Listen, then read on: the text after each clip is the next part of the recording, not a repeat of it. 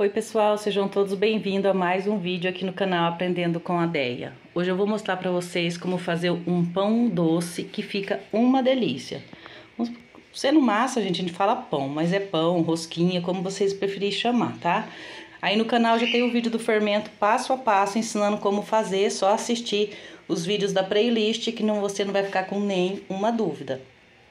E na descrição do vídeo eu deixo o link do Formas e Bandeja para vocês, tá entrando em contato com eles e saber como que vocês faz para adquirir as formas deles, tá? E aqui são os produtos que eu uso, que é o meu patrocinador, a LCA Alimentos. E tem aqui na mesa, ó, um pacote de mistura de bolo sabor cenoura, que é uma delícia. A farinha de trigo Ofélia integral e a farinha de trigo puríssima, a branquíssima top. E a que eu tô usando hoje para essa receita é a semolina. Então, o que, que a gente vai precisar? Eu separei aqui 2 kg de farinha de trigo semolina, Ofélia, um leite condensado aí de sua preferência, eu tô usando o tirol, por isso que deixei na caixinha, duas xícaras de fermento de litro, duas xícaras de água e uma xícara de óleo, tá? Fica uma rosquinha maravilhosa e eu vou mostrar pra vocês como que eu vou modelar ela, vocês vão adorar o resultado. Agora vamos acrescentar os ingredientes aqui na bacia, passo a passo. Coloco o óleo, tá? Temperatura ambiente de preferência. É óleo de soja. A água também temperatura ambiente, porque tá muito calor, não precisa mornar. Se for no tempo do inverno, vocês podem mornar. O fermento de litro eu reformei ontem, deixei na geladeira porque eu não fiz pão ontem. Então, durante sete dias você pode estar tá utilizando o seu fermento de litro, que ele vai ter a mesma ação no seu pão, tá? E sempre deixa uma isca, né, gente? Deixa sempre, eu gosto de deixar sempre um litro.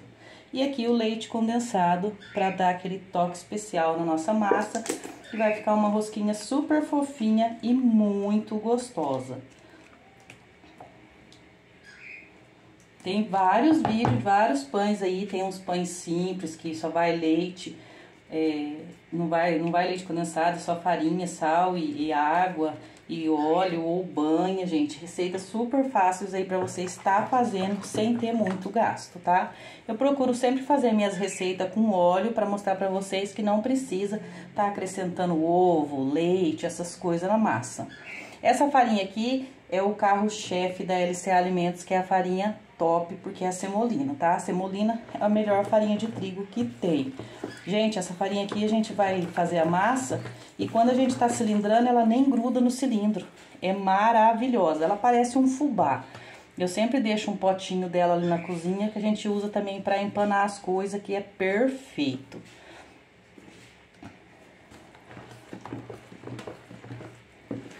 Aí vocês têm que procurar na região de vocês onde vocês encontram para comprar a semolina, porque ela é vendida de pacotinhos de 1 kg.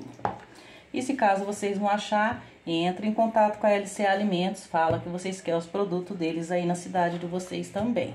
Então, vai colocando a farinha aqui aos poucos, tá? Lembrando que eu tô fazendo esse pão agora à noite, vou deixar ele crescer fora da geladeira até amanhã cedo. Amanhã cedo, quando eu levantar, eu vou cilindrar ele, modelar as rosquinhas e deixar crescer. No frio, gente, é bem mais demorado fazer os pães com fermento de litro. Dá certo, tem vídeo aí no canal que eu ensino como fazer para ele crescer. Mas eu recomendo você estar usando no inverno o fermento de batatinha, que daí é mais prático. Eu tenho meu fermento de litro e tenho o levain. Quando chega no inverno, eu acrescento, eu reformo o fermento de litro, tiro um litro e guardo, e o outro litro eu acrescento uma batatinha e transformo ele em fermento de batatinha para mim estar tá usando, tá? A quantidade certinha de farinha que eu vou estar tá usando nessa receita, eu vou deixar aí na descrição do vídeo, tá? coloquei 2 kg aqui, é, pode ser que eu vou precisar mais, então daí eu deixo na descrição do vídeo certinho pra vocês verem quanto que eu gastei, ó. A massa ainda tá mole, por isso que eu tô mexendo com a colher. Agora eu vou pôr minha luvinha, vou sovar essa massa. E essa massa não precisa sovar muito, ó. Porque ela fica super lisinha, maravilhosa para trabalhar. E para fazer os pães também de fermento de padaria, gente, o resultado é maravilhoso. Então agora eu vou pôr minha luvinha, vou pôr a mão na massa e já mostro para vocês. Pessoal, acabei de cilindrar, de cilindrar, de amassar aqui a massa, eu tô mostrando pra vocês o tamanho que ela tá, como que ela ficou Vou cobrir com um pano e deixar aqui em cima da mesa porque tá muito calor. E amanhã bem cedinho eu vou acordar e vou mostrar pra vocês como que tá essa massa. Ela vai estar tá super crescida, maravilhosa. Então pode amassar esse pão aí lá pelas 11 horas da noite que vai crescer sossegada, porque o calor tá de matar. Então, até já! Pessoal, agora vou mostrar pra vocês o tamanho que tá a minha massa das minhas rosquinhas de leite condensado feito com semolina. Olha isso daqui, ó. Ela já começou até a baixar, gente, porque eu esqueci que eu tinha consulta de manhã. Fui na consulta e agora que eu vou cilindrar meu pão. Agora eu vou dividir essa massa em quatro partes, vou cilindrar e daí vou mostrar pra vocês como que eu vou modelar as rosquinhas que eu vou fazer hoje. Gente, eu cilindrei a massa, virei o lado dela mais crespo pra cima, ó, e o lado lisinho pra baixo. Daí eu só vou fazer cortes assim, ó, quem tiver esse cortador, faz com esse cortador. Quem não tiver, pode fazer com, com a faca mesmo, tá? Esse é um modelo que eu já tenho no canal, eu tô fazendo aqui de novo, que fica bem bonito depois de assar. E se vocês quiserem enrolar também como pão tradicional, pode enrolar que não tem nenhum problema. Aí, o importante é a massa, tá? Ó, fiz isso de fora a fora. Agora eu vou puxar ele e vou dar uma enroladinha assim, ó. Ele volta, mas não tem importância. Vai puxando todos, dando uma enroladinha.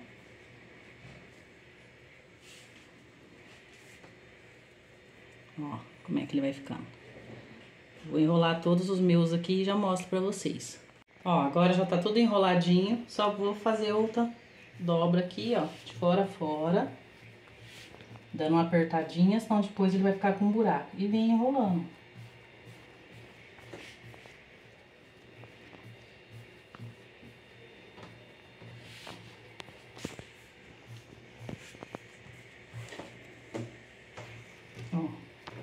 Se quiser cortar e fazer rosquinhas individual, fazer pequenininha, pode fazer. Se quiser fazer uma só, também pode fazer, ó. No caso aqui, eu vou enrolar ele assim. E vou pôr ali na forma, junto com a outra que já tem aqui.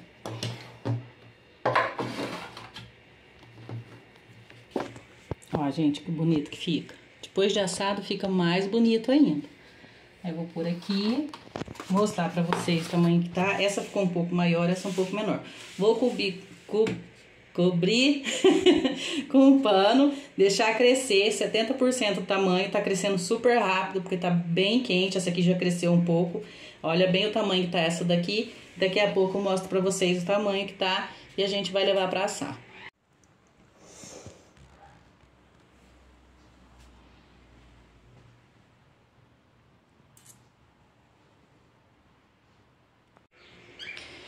Gente, olha que coisa mais linda que tá as duas roscas que eu modelei primeiro. Essa tá bem maior, essa um pouco menor, mas já encheu a forma. Vou levar para assar no forno a gás a 180 graus de 40 a 50 minutos. E assim que ela estiver assada, eu mostro para vocês.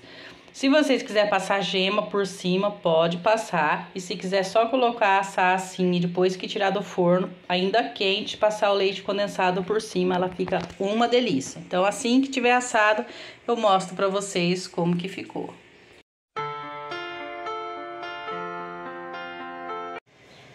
Gente, eu já tirei do forno, tá super quente. Daí vocês vão fazer o quê? Passar leite condensado por cima, jogar assim enquanto ele tá quente. Nunca deixa seu pão esfriar dentro do forno, tá? Porque resseca. Então, tirou do forno, se for passar a calda, já passa. E se não for passar calda, já cobre com um pano e deixa ele esfriar totalmente. Não deixa esfriar dentro do forno e nem descoberto, porque ele vai ficar duro. Então, agora com o meu, tô passando leite condensado, se eu pôr um pano aqui, vai grudar. Então, o que que eu faço? Tem uma, uma bacia bem grande, eu coloco a bacia por cima e jogo o pano. Daí não tem perigo de grudar, ó. Fica um cheiro gostoso de leite condensado na hora que tá passando aqui, gente, que é maravilhoso. Aí cada um usa o leite condensado da preferência e se não quiser passar leite condensado também não precisa. Se quiser jogar um pouco ralado aqui por cima, também pode jogar, que fica muito bom, ó. Eu vou deixar ela assim ela acabar de esfriar. E na hora que ela estiver bem fria, eu vou mostrar pra vocês como que ficou essa massa por dentro. Gente, agora eu vou mostrar pra vocês o resultado dessa massa maravilhosa, ó. Rendeu duas desse modelo e duas desse aqui. Gente, olha o tamanho dessa rosca, olha isso. Enorme. Essas, essa aqui e a outra eu vou levar especial pra gente passar nosso final de ano numa chácara. E aproveitando mostrar pra vocês como que vem a farinha Ofélia, a que eu uso sempre, que é a Super Premium. Essa aqui só é vendida em sacaria de 25 quilos e só pra quem tem é, padaria, essas coisas, tá? Não tem dela assim pra vender em supermercado. Agora vamos cortar aqui a nossa rosca de leite condensado feito com farinha de trigo semolina. Vou cortar já um pedaço bem grande, né? Pra vocês verem como que fica essa massa por dentro. Olha isso aqui, gente. Ó. Uma massa branquinha, maravilhosa, porque a semolina, ela é branquinha. Então, fica um pão levinho, muito gostoso e cresceu demais os meus pães. Espero que vocês tenham gostado aí do vídeo. Na descrição do vídeo vou deixar a receita escrita certinho para vocês.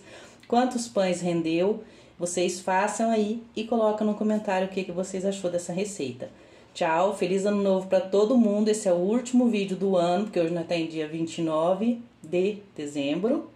E o próximo vídeo só no ano que vem. Beijos, até o próximo vídeo. Tchau, tchau.